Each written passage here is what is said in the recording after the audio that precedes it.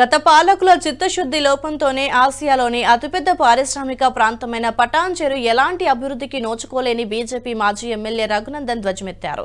పటాన్చెరు మండలం ముత్తంగిలో ఆయన మీడియాతో మాట్లాడుతూ ఈదుల నాగులపల్లిలో రైల్వే టెర్మినల్ భూసేకరణ వద్దే ఆగిపోవటం విచారకరమన్నారు.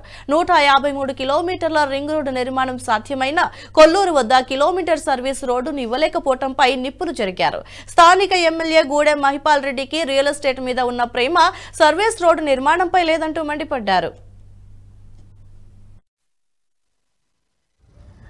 పటాన్చెరు పరిస్థితి ఏంటంటే అన్నీ ఉన్న అల్లు నోట్లో శని ఉన్నట్టు ఉంటుంది పటాన్చెరు పరిస్థితి.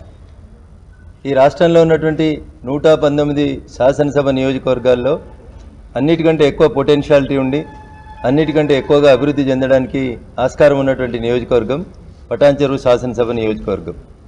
కానీ దురదృష్టం ఏంటంటే నాయకులకి ముందు చూపు లేదు నాయకులకి స్వప్రయోజనాలు మినహా ప్రజల ప్రయోజనాలు లేవు కాబట్టి ఈ పటాన్ చెరువు అనేటువంటి ఆసియా ఖండంలో అతిపెద్ద పారిశ్రామికవాడైనటువంటి పటాన్ చెరువు ఇంకా ఇదే దుస్థితి లోపల కొనసాగడం అనేది బాధాకరమైనటువంటి విషయం.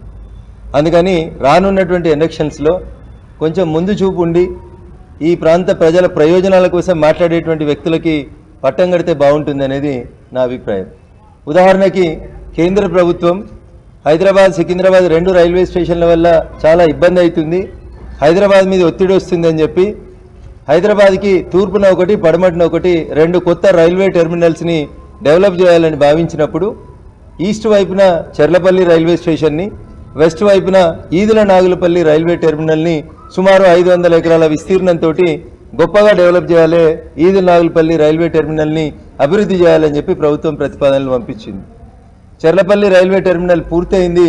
రేపో మాపో గౌరవ ప్రధానమంత్రి గారు వచ్చి ఆ రైల్వే టెర్మినల్ని ప్రారంభించబోతున్నారు కానీ ఈదెల్ నాగులపల్లి రైల్వే స్టేషన్ చుట్టూ సుమారు ఐదు వందల ఎకరాల ప్రభుత్వ భూమి ఉన్నప్పటికీ కూడా ఈ రోజు దాకా ఇటు పటాన్చెరు అటు సంగారెడ్డి నుంచి ప్రాతినిధ్యం వహించినటువంటి ఎమ్మెల్యేలకి ముందు చూపు లేకపోవడం వల్ల ఈదుల్ నాగులపల్లి రైల్వే టెర్మినల్ ఎక్కడుంది అంటే భూసేకరణ దగ్గర మాత్రమే ఆగిపోయింది తప్ప రెండు అడుగులు కూడా ముందుకు పడలేదు. పటాన్చెరు ఎమ్మెల్యే అదే పార్టీ మున్సిపల్ అడ్మినిస్ట్రేషన్ మంత్రి అదే పార్టీ. ఈ జిల్లా మంత్రి అయితే పొద్దున్నేస్తే ఈ జిల్లాని బాగా అభివృద్ధి చేస్తున్న బంగారు తెలంగాణ అయింది అని చెప్తారు.